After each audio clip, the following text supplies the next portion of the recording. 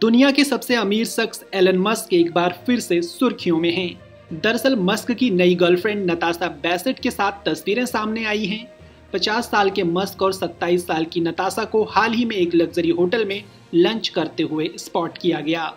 Actress Natasha Bassett Musk की अब तक की सबसे कम उम्र की गर्लफ्रेंड हैं।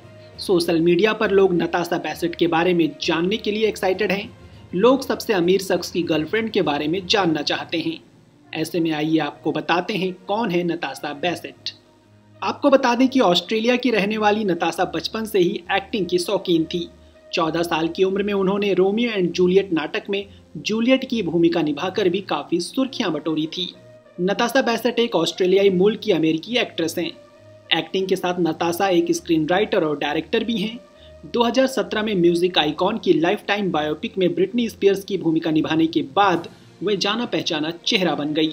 बाद में एक्टिंग सीखने के लिए नताशा 19 साल की उम्र में ऑस्ट्रेलिया से न्यूयॉर्क चली गई।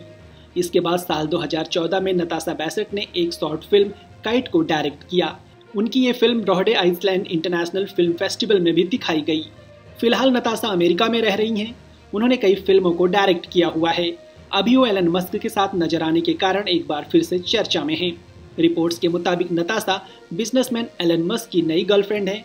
और वे एक दूसरे को डेट कर रहे हैं। बताया जा रहा है कि ये कपल फरवरी 2022 से एक दूसरे को डेट कर रहा है। इससे पहले नताशा और मस्क को एक प्राइवेट जेट से लॉस एंजलिस में उतरते देखा गया था। तभी से चर्चाओं का बाज़ार गर्म है। गौरतलब है कि मस्क अक्सर अपने रिलेशनशिप को लेकर सुर्खियों में रहते हैं। वो सात बच्चों के पिता हैं और उनका तीन बार तलाक हो चुका है। अभी वो एक्ट्रेस नताशा को डेट कर रहे हैं। वैसे इस स्टोरी को लेकर आपकी क्या राय है? हमें कमेंट के माध्यम से ज़रूर बताएँ। साथ ही अगर आपने चैनल सब्सक्राइब नहीं किया है तो अभी कर लीजिए।